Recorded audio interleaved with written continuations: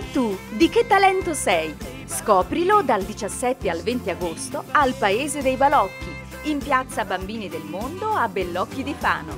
Musica, spettacoli, artisti di strada, laboratori creativi e giochi. E non può mancare la cucina tradizionale biologica e per celiaci.